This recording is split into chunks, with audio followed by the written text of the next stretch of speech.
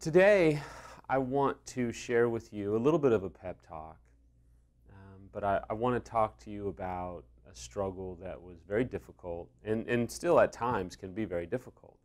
And I know some of you go, difficult now, like you've been in recovery so many years, there's difficult times now.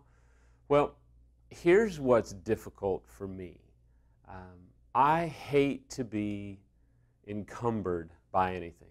I hate to have discomfort. I hate things to not go well.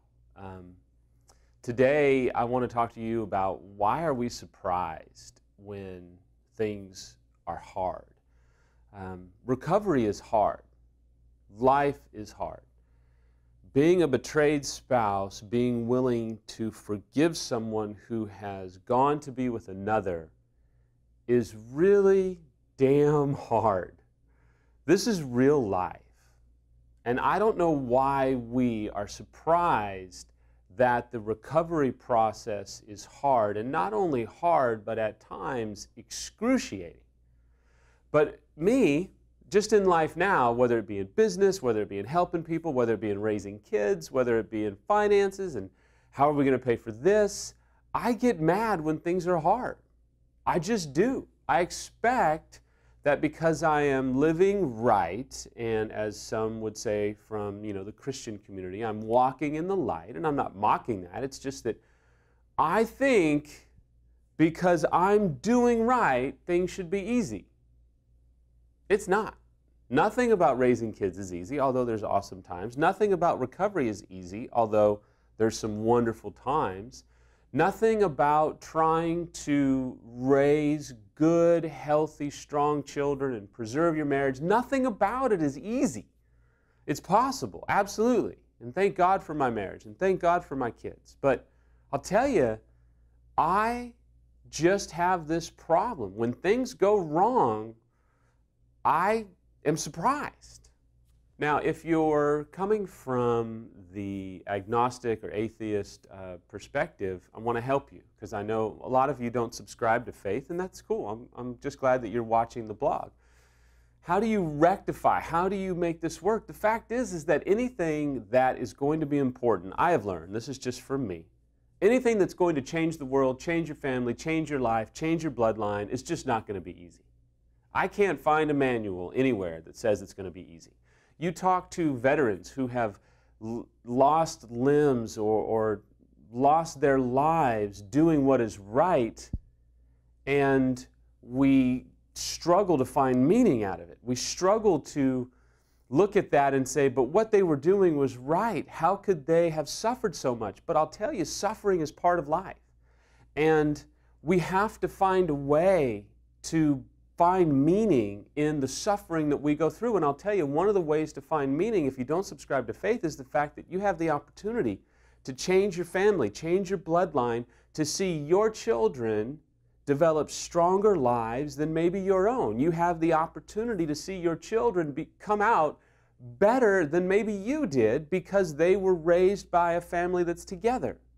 Or maybe, unfortunately, if there's a divorce, they're able to be raised by a mom or a dad that, although are divorced, incredibly love them and have created a safe environment for them despite going through a traumatic divorce.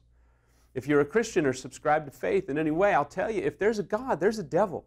And as much as God loves you and cares for you and wants the ultimate best for you, there's a devil that hates you, despises you, and wants to do everything he can to uproot your recovery. I'll never forget, I was talking to one of my mentors early on, and, and everything was just crap. I would say something different, but you get the drift. It was just hard. Every single thing was hard. And, and I'll never forget, he looked at me and he said, Where did you get the belief that this was going to be easy? You're trying to change your family. You're trying to change yourself. You're trying to preserve the most important relationship in your kids' lives and your own, and it's hard as hell. Where did you get the belief that it was just going to it was just going to fall into place? So we come to this point where we land at a real crux of recovery, if you will. And you want to know who Samantha was angry as all get out at? Besides me? Mm, she was angry at, at what was considered one of her best friends that I had had an affair with. But you know who she was really incredibly angry with? God. You want to talk about irony? Lay in bed with your wife who you've betrayed while she bawls because she's not just angry at you, because she's angry at God as well for allowing it to happen.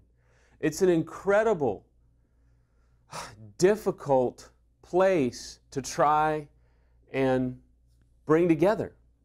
I mean, I'm struggling for the words now to try and describe it. It's incredibly painful. And we shake our fist at God, especially as a betrayed spouse, and we say, How could you let this happen? You could have prevented this, and you could have stopped this. And we direct our anger at God, and I'll tell you, it's tough. You're not going to get any judgment here. I'm just telling you. I was mad at God that He allowed me to do it, and I was mad at God for this and that. I mean, it's a real deal. It's real life, man. And we don't have a ton of time today, and I'm going to probably have to continue some thoughts on this because I'm kind of getting into a place I don't want to leave you hanging. But here's the reality you don't know the end of the story by the beginning, and you don't know the end of the story by the middle. And right now, you don't know what's going to happen. You can't tell me you do. You don't have a crystal ball, and you're not God. You may want to remember that, unfaithful. The fact is, you just don't know. And I didn't know. And one of the things that kept Samantha going was sitting with Rick, bawling her eyes out, talking about how angry at God she was, and then talking about how angry she was at me. And I was the very person that was trying to comfort her at her anger at God. How do you make that work? What a crock of crap that is. But we found a way. And I'll tell you, you just don't know right now what's going to happen. Samantha tells the story, and I'll end with this that, man, looking back, it was the best thing that ever happened to us. And I know some of you just threw up and you thought, what? Indulge me, but God took what was supposed to be the worst thing that could ever happen to her and ever happened to me and used it to be the best thing that's ever happened to me and ever happened to her because our family is stronger, our marriage is stronger. We've experienced healing like we never thought we could experience. But we had to go somewhere that nobody really wants to go. There's a quote I want to read you. Paul Tripp said this. He said, and, and for those of you that don't maybe subscribe to faith, we'll use the word love. But um, for those that subscribe to faith, I'll, I'll tell you it's the it's the, the belief and the trust and the, the security of God. And basically, God or love will take us where we haven't intended to go to achieve what we couldn't achieve on our own. There's something at play here, there's something at work here.